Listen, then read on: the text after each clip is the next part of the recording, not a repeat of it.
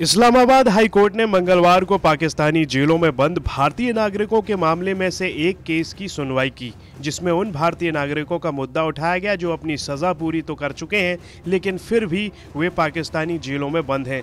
इतना ही नहीं, उनकी राष्ट्रीयता की पहचान तक हो चुकी है, फिर भी पाकिस्तान उन्हें रिहा नहीं कर रहा। इस केस का कुलभूषण जाधव मामले से कोई लेना देना नहीं था, लेकिन पाकिस्तान इस केस को भी जाधव मामले से जोड़ने की कोशिश कर रहा है।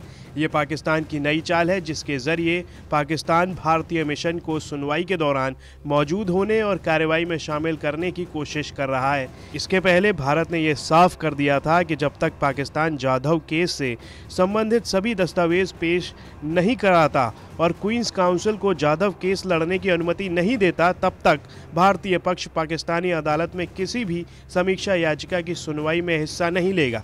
गौरतलब है कि भारत ने पाकिस्तान से कुलभूषण जाधव के लिए क्वींस काउंसिल की मांग की थी।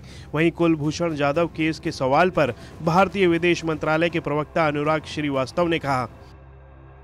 हमने पाकिस्तान से जाधव के लिए क्वींस काउंसिल की अनुमति देने के लिए कहा था। इंटरनेशनल कोर्ट ऑफ़ जस्टिस ने जुलाई 2019 में कुलभूषण जाधव पर आदेश दिया था, लेकिन पाकिस्तान ने मामले से जुड़े सभी दस्तावेज़ अब तक हमें उपलब्ध नहीं कराए हैं। साथ ही उन्होंने कहा कि अंतर्राष्ट्रीय कोर्ट के आदेश को पूरी तरह लागू किया जाना चाहिए। जानकारी के मुताबिक इस्लामाबाद हाई कोर्ट की एक बड़ी बेंच ने मंगलवार को कुलभूषण जाधव मामले में कानूनी वकील की नियुक्ति के लिए सरकार की याचिका पर फिर से सुनवाई शुरू कर दी थी।